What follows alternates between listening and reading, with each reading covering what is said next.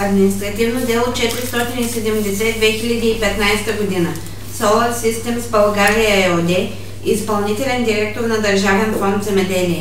Делото бе свързано с фотоволтаици, изградени с субсидия от европейски фондове. В момента разглеждаме както дела по Закона за устройство на територията, така и дела свързани с мерките и субсидиите на земеделските стопани.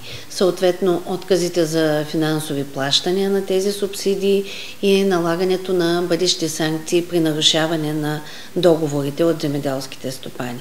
Това са много интересни дела, защото Европейския съюз дава една възможност чрез европейските фондове стопаните да развиват своята дейност, както засаждане на орехи, включително и построяване на фотоволтаици.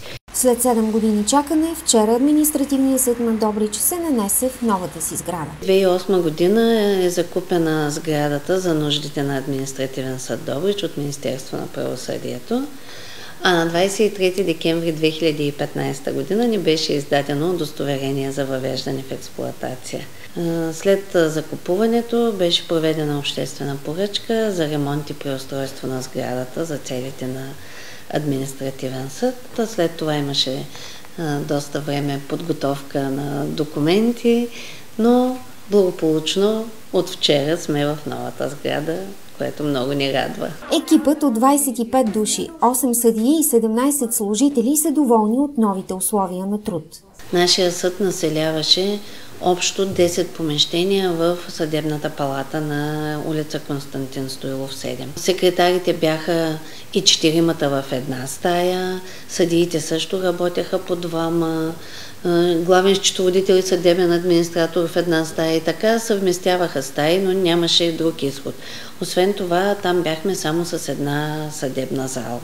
Сега вече всеки има самостоятелна стая и сме с три съдебни зали, от които към момента сме оборудвали две.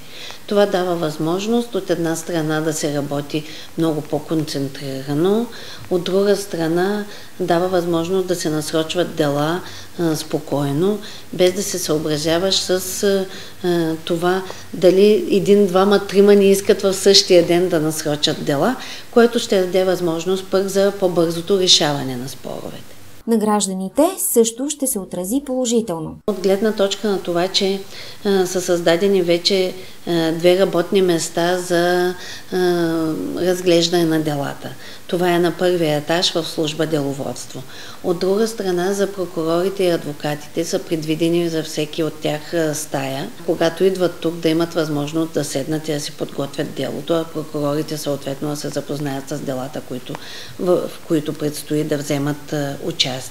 Председателят на съда си пожела повече дела, тъй като екипа има своя капацитет и възможност. Това, което очакваме е депутатите да вземат решение за промяна в административно-процесуалния кодекс и в други закони, да се промени подсъдността и, например, данъчните дела да са по-близко до хората. Защото в момента само пет от административните съдилища се произнасят по данъчни дела. Новата придобивка е крачка напред към по-добро правораздаване, заяви още Красимира Иванова. Червеното е твърдо, мощно и логично. Жълтото е еластично, блестящо и напрегнато. Шоколадът е тъмно лилав и кара дъхът ти да ухае на тъмно синьо. Удоволствието е оранжево. Не е истина. С дигиталната печатна машина на ArtPrint можете да усетите всичко това. Отпечатайте експресно вашите рекламни материали. Зона ArtPrint. Добрич. Улица Васил Левски 7. Телефон 60 44 48.